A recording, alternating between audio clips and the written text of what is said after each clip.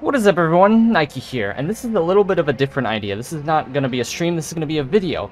Primarily because I'm going to be preoccupied with a bunch of races coming up very shortly. Probably around the time that this video is going to be uploaded. But I wanted to talk about aspect of my um, IRL adventures, which is motorsport photography.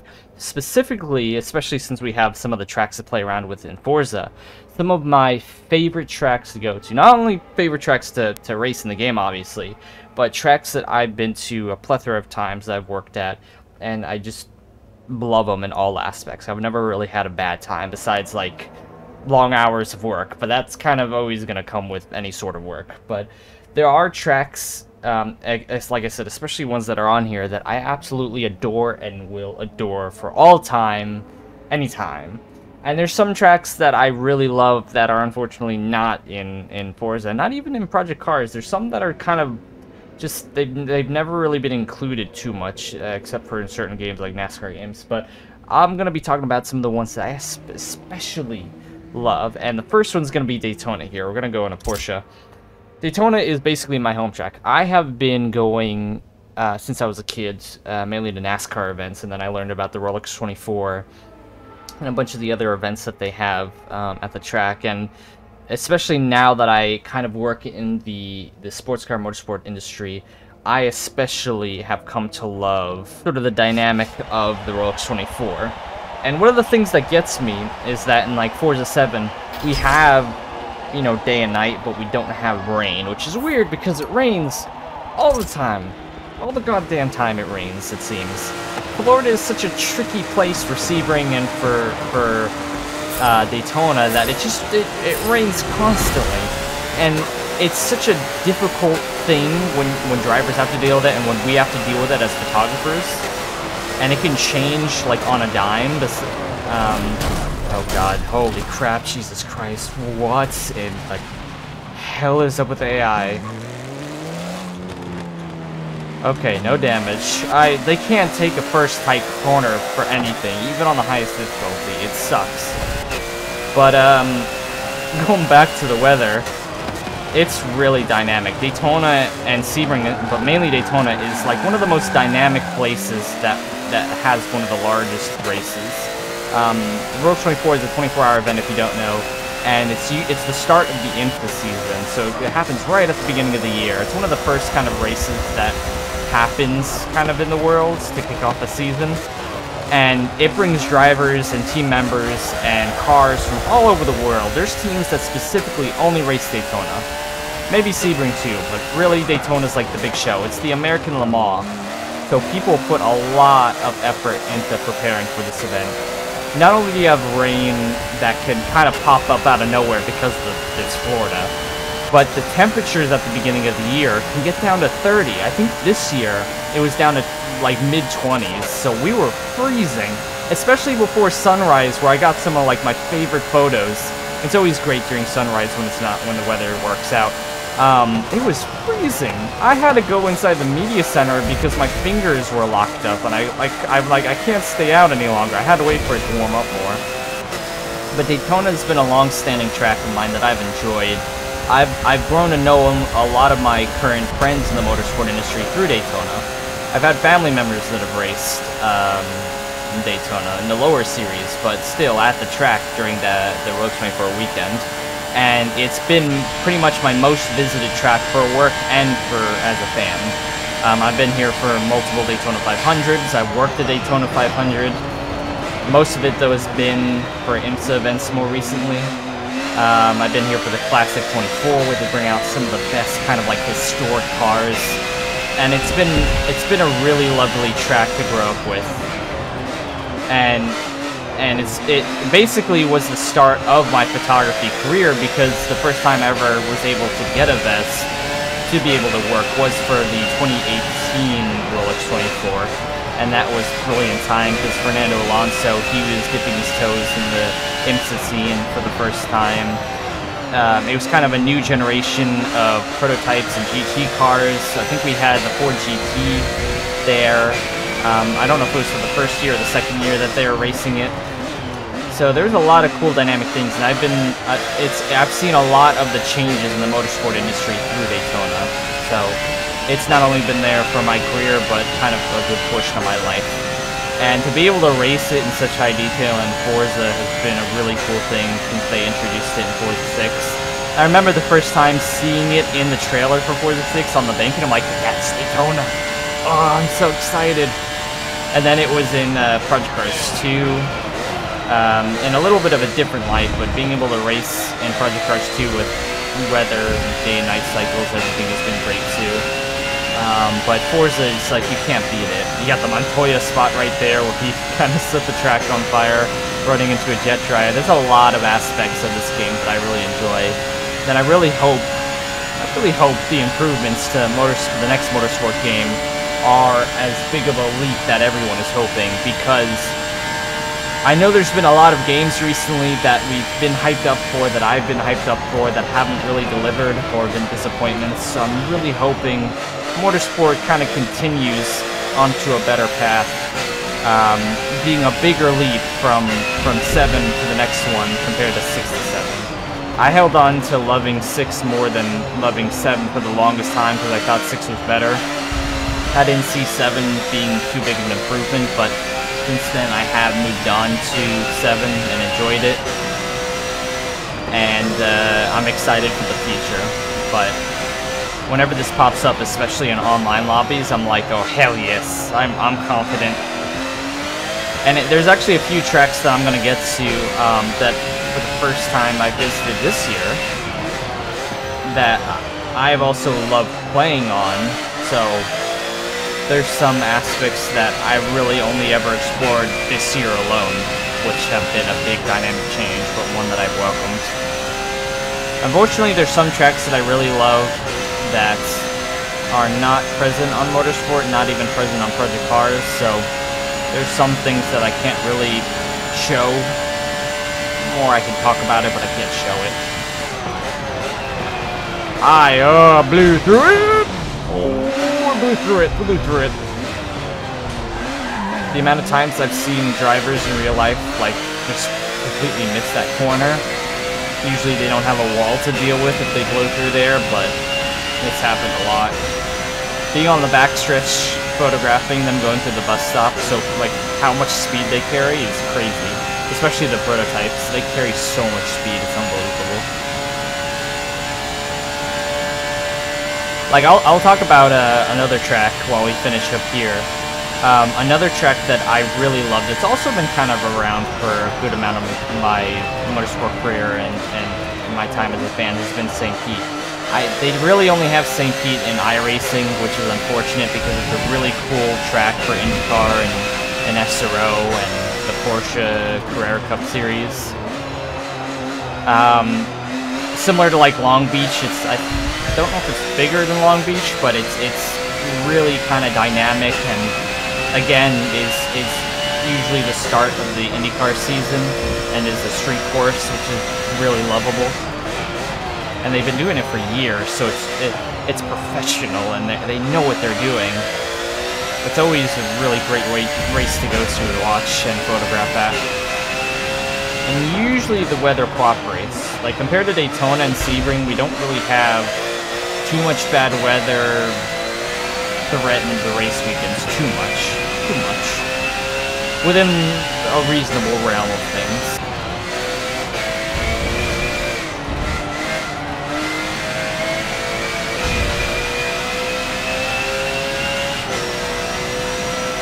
Yeah, the amount of times I've seen people go off course in the bus stop has it's a lot. Just because they carry so much speed that you gotta hit it just right, otherwise you're off. And the grass, especially when it gets wet, can really tear up your car. I don't know what lap we're on.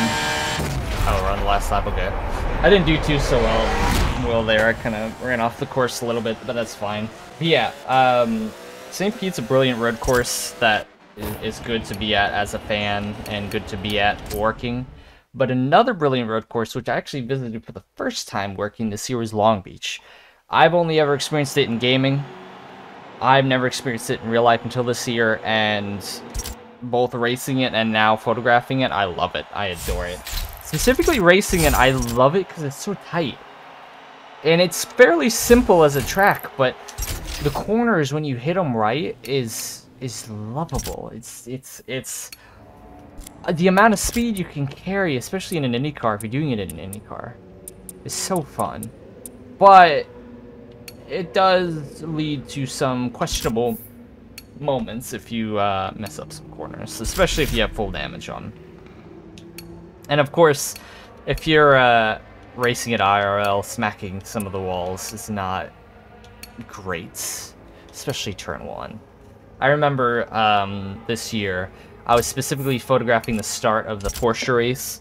They have this like balcony area where you can catch them coming around the bend and be elevated and have them go through the first corner.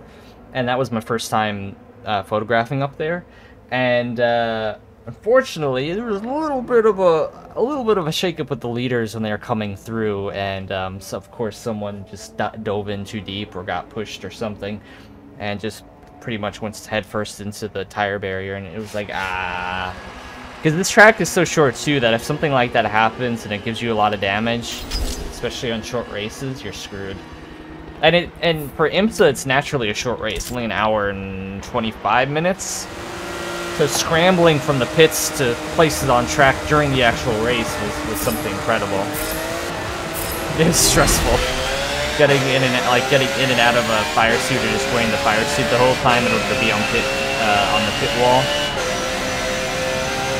It can sometimes be uh, really hot. Ooh, don't do the thing that I just described.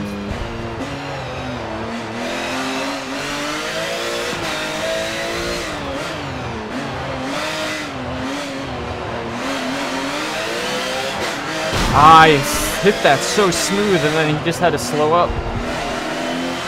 Like that, like pushing out of some of these corners hurts when you get it wrong. It's getting it right that's the problem, like how tight you have to be to the wall.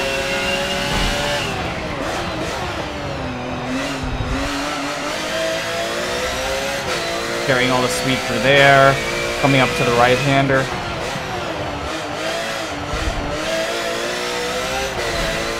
The media center is in the convention center that we're passing underneath, so there's a section that you can stand at where they're going underneath the tunnel and the amount of echoes the amount of echoes, like loud echoes from passing cars is incredible. I'm sucking so hard. You can also be at the center line right side of this island and have the cars just go around you, which is also fun. And they come close to the wall too. Some drivers get really close, and they make passes there, which is very questionable. But there's a lot of sight lines around this track, around the tighter corners, where you get really good views of the cars. And it's weird because it's there's a shopping mall around here that it kind of runs through, so one of the days, um, I forgot which day it was, we were done, I think, working, and we went to the Bubba Gump that's just on this corner, and I love Bubba Gump but it's weird how like all the restaurants are still open, so you just have you could just go eat at one of the restaurants after a long day, as long as they don't you don't catch them when they're closing because they closed early during the race weekend.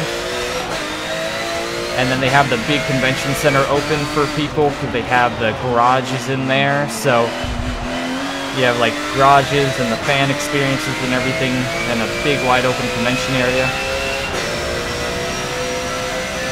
And they also have the stadium trucks this year. I know St. Pete usually has the stadium trucks, but they had them here too.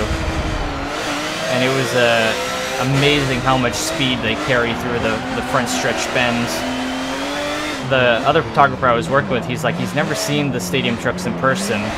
So watching how fast they were was surprising because they lift up on three wheels when they're going through tight corners. Sometimes they get up on two wheels because they're so heavy.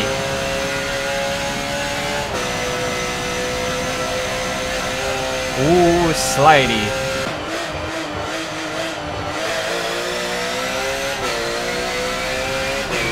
But again, the lap times are super short, so whether you're watching as a fan or you're photographing, the cars come back around quick.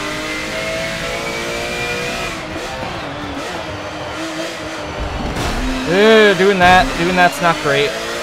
Doing that is very unfavorable. I'll switch to a third person and try to not wreck. I think this should be the last lap, I think. So I'll try not to wreck. I'm so used to first person. I used to race third person all the time in Forza 4 and Forza 6, and I was comfortable with it, but now first person is and and the HUD view is kind of my primary.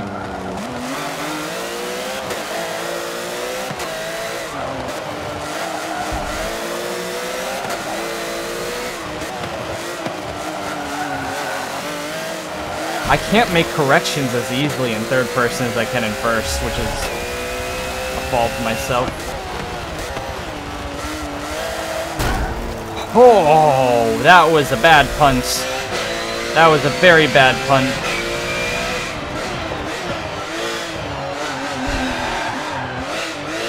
I've screwed the car now. Yeah, I just, when the car gets, like, slidey, I can notice it much better in first person than I can in third, so that's completely my fault for doing that.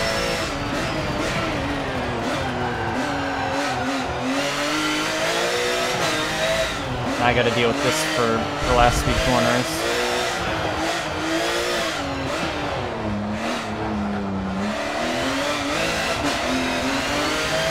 Why would you do that, you idiot?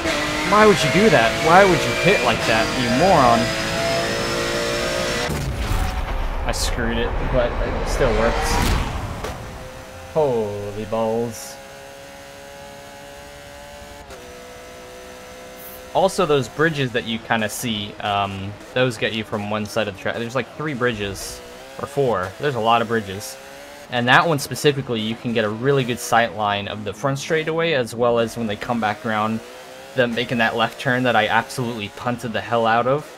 You get really good views around this track, so if you're ever ever get a chance to, I would highly suggest that you uh, you check out Long Beach. It's very good, especially since um, IMSA especially uploads their full races to YouTube after the races. I think it takes like a week or so for them to do it. So if you miss stuff out, if you're curious about it, they got the full replays. Those are cool.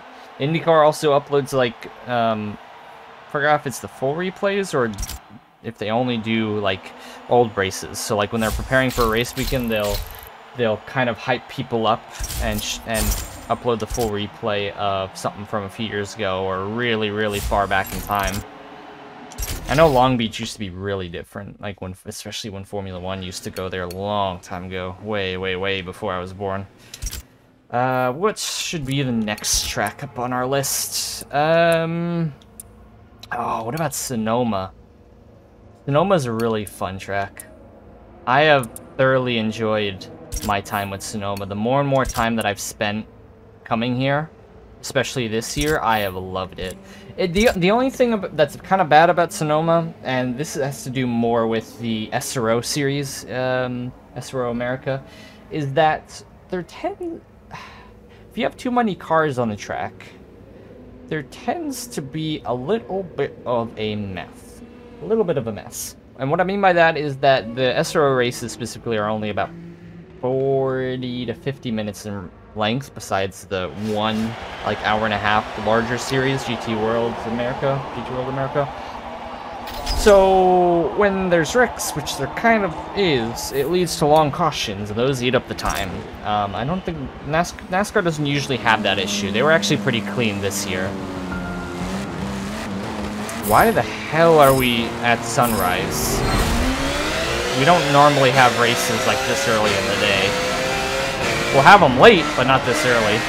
There's not really any natural uh, light around, like uh, lights that they have up around here, morons. But photographing this track is also very fun. There's a lot of elevation, it's pretty wide open.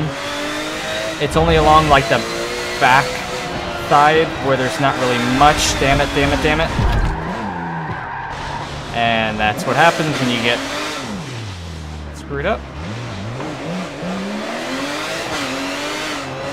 When you just push it that's part of the problem with this track for a lot of drivers is going over the edge can can really be detrimental, even if just a slight bit over the edge. It could be really bad. And this track really does have kind of two moods. Because certain parts of the year it's green like this, other parts it's a desert. And a fun fact about this track too, God, what is wrong with you? Why would you do that, you moron? I'm trying to tell fun facts and you're pushing me around like it's a stock car race.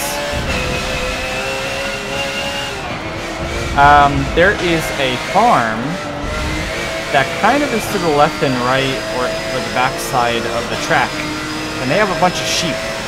So especially this year, when I went, they will let the sheep graze on the grass that is around the track. So during testing, the day, that, the first day that we were here, there was just sheep on the inside of the track and on the on the upper left hill and you could, they would just be right right up against the parking. And it was kind of strange, but there was a lot of them. There was a lot. Like, they kind of outnumbered the people that were here. Even all the crew members and the fans had outnumbered them by a large margin. But they just had them grazed, and it was, it was interesting. And the lap times are usually long here too, especially with the slower GT cars.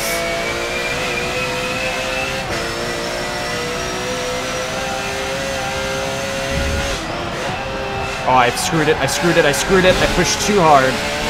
Stock cars are really fun to, to race around here. Because they're slidey. So get feeling the weight shifts and getting them through the corners, especially this turn one section, is really fun. Don't don't pat my backside.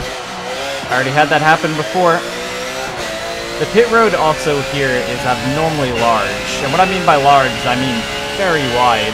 You could be standing at the pit wall you know, with the crew and everything, and you could probably fit like... Ooh, God, oh Jesus Christ. Ooh, I was talking and not paying attention. You probably fit like six cars wide in the pit lane. So there was a time where uh, our team ended up winning the race. They dominated. So they let them run up to the wall to cheer them on coming through the last corner. But it, it takes a second to walk across to the wall.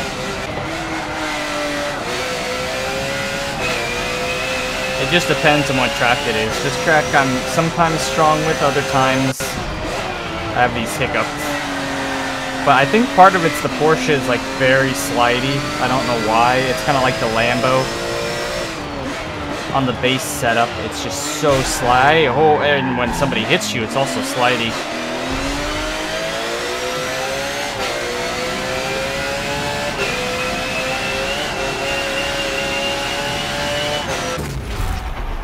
So, like, with the traction control, it's, eh, it's like you're on ice.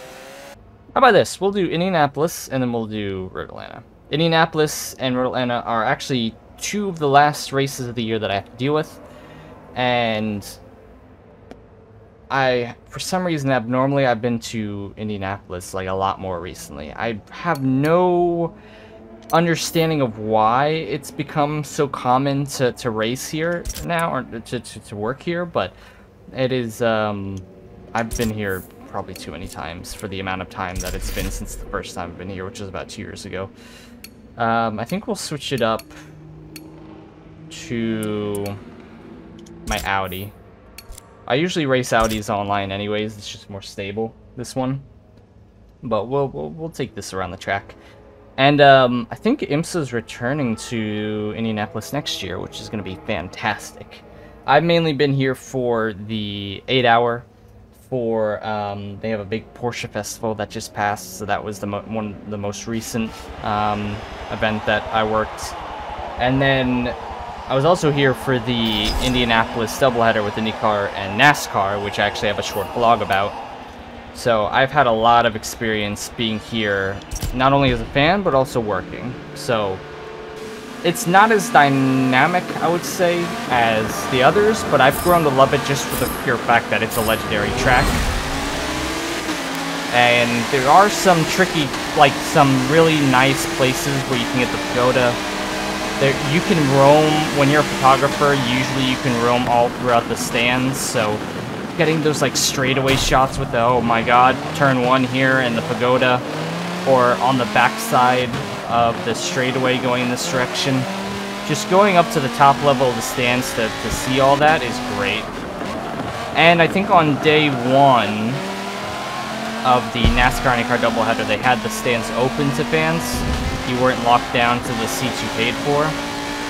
So I was able to roam a little bit. And that was very, very cool to see.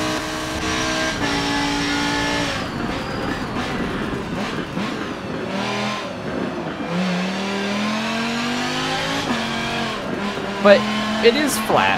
It is flat. It doesn't have a lot of dynamics to it that the other tracks have, especially Road Atlanta.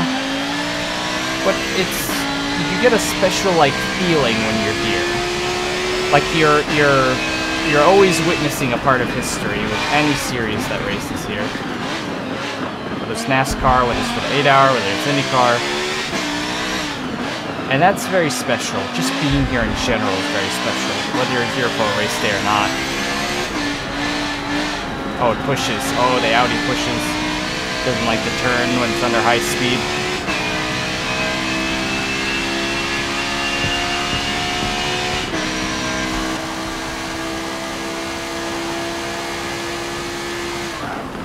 And one of the things that I have yet to experience, but I'm gonna maybe try to experience next year, is the Indianapolis 500. Obviously, that's the oval portion, and they're going in the other direction. But that's something that I really want to experience, um, even as a fan next year. If possible, work, but I don't really see that in my near future. Um, but things always surprise me. There's a lot of events that I've attended over the past year or two that have really surprised me and kind of been short notice, so we'll see. All depends. Oh, I overshot that corner. I didn't hit the apex like a moron.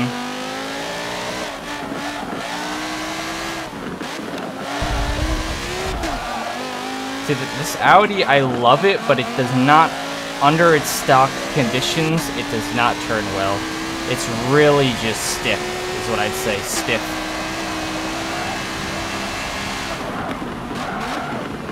But this will actually be the last event of the year for me, at least for what's planned. And it's a, it's pretty much like five days of non-stop action, topping it off with an 8-hour race. And usually you'll get like a lot of international teams for the international for the um, 8-hour race, including teams from Audi. They dominated last year. A lot of Ferrari teams, so it's a it's a it's a really cool race, and I think they live streamed the entire race too on YouTube. So GT World is usually the channel that, that live streams and uploads a lot of those races, so keep an eye out if you're curious about that. Because uh, being able to watch this race live, especially when it is 8 hours, is great. It's really fantastic. And usually it's cold here, too. If you go in person, it sometimes gets really freaking cold in Indiana. But the last event that we're gonna, last track we're gonna go to, which is gonna be the, um, Road Atlanta, it's, it usually hosts the Petit Le Mans, which is the final race of the IMSA season. And that is usually a 10-hour race, going from morning to basically some early parts of the night, so it'll get dark usually, um, for just a short amount of time, that is. Uh, but the dynamics of its its slopes and the S's and some of the straightaways, it's it's when you're there and you kind of wade through some of the forested areas to overlook you know, long sloping S's of the track going downhill. It's fantastic. Absolutely fantastic. I'll do four laps around here. I do, again, this is a track that doesn't have all the conditions that you normally have. You sometimes can have rain. Obviously, for the Petit uh, Le Mans, it'll get dark here. It'll get really dark. There's not really too many lights around here besides some corners, so it gets freaking dark. Really dark. Which leads to a lot of like rotor glow in the straightaways when you when you get to see certain angles. Um, but again, they said for the next Forza Motorsport game, we're to have a lot of the race dynamics, the weather changes, day and night, available for all the tracks. So, you know, pending them possibly removing any of these tracks, they shouldn't, because they have a good partnership, I think, with them we will get a much better sense of what these events are in real life, which will be really cool. And if you mainly watch European racing, the vast majority of these tracks are rolling starts. You don't really have starting, standing starts for like, ooh, god, oh god, oh god, oh god, oh god. Oh, damn. It's...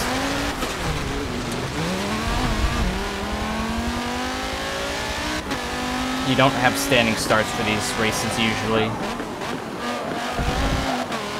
Uh, I think GT SRO used to do it, like they used to do that at St. Pete, but there were so many incidents that they all do rolling starts now.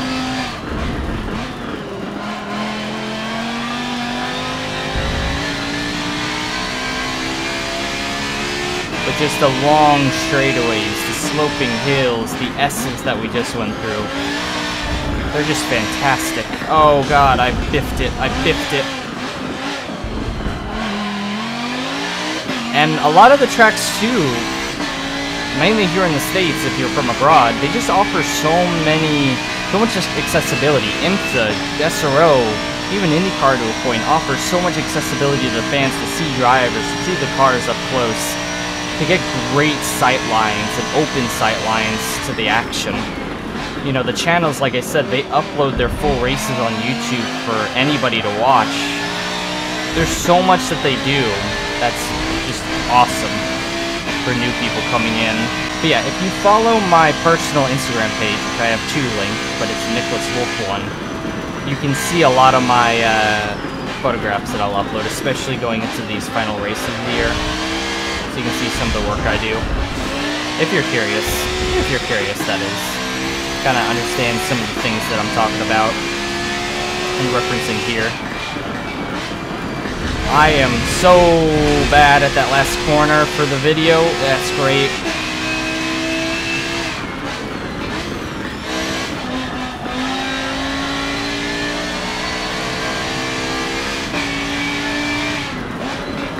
But besides the left side of this track to the left of us, which is just all forest, um, but photographers can walk around there, this whole right side, for the most part, where you see all the tents and the people.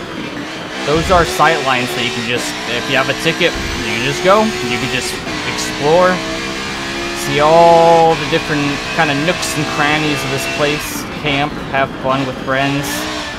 It's all there to be discovered.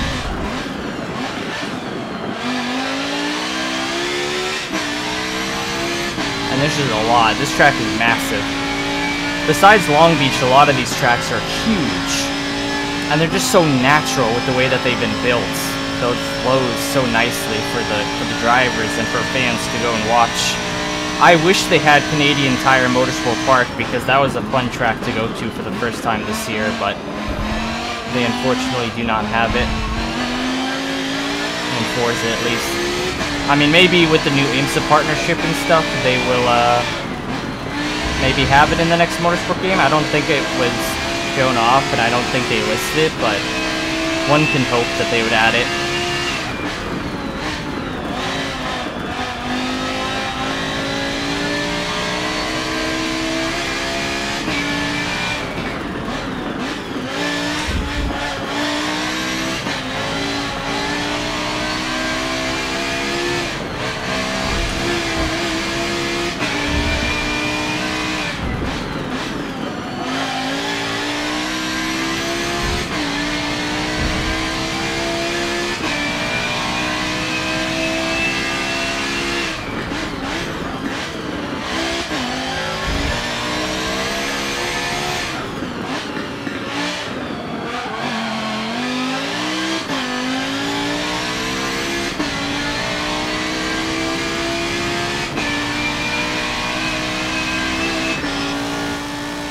But I do hope you enjoyed watching me kind of sort of drive competently. It didn't really work out too much at Sonoma and here, but I do hope you've enjoyed my commentary talking about some of these elements that maybe you didn't know if you don't follow me normally. Um, I want to try to like make connections with regards to some of the things in my real life that I do enjoy, hoping that, oh god, that you would enjoy too maybe. Um, so, in any case, I do hope if you are a motorsport fan um, already, of course, you probably know a lot of this stuff, so I don't you don't need the explanation from stupid me. But if you are curious about motorsport, or you know you're you're entering in and you don't know a lot, this is you know at least some insight, some direction to go into, since you know there's a lot of resources that are just open to, to watch on YouTube, which is great. And um, again, I'm hoping the, the new Motorsport game is kind of what a lot of people are aspiring for. It'll be really cool to see what, what's going to come out of that, but um, I actually don't know what, if they ever released it or not, so I guess we'll just see going into 2023 what, what they're, what they're going to show us. But uh, again, thank you very much for watching this video, and I do hope you keep an eye out uh, for more streams and videos. Again, I'm going to be working a little bit, so it's going to keep me away from being able to stream and make videos, but um, more so like the last chunk, the last little bit of the year, there's not really anything specifically planned for me work-wise, so I'll have a little bit more time to do streams and videos, so just keep an eye out for that when that does happen, and I'll keep keep you up to date up to date on my um, Instagram and stuff. So I hope you have a good day or night wherever you are, and I will catch you next time.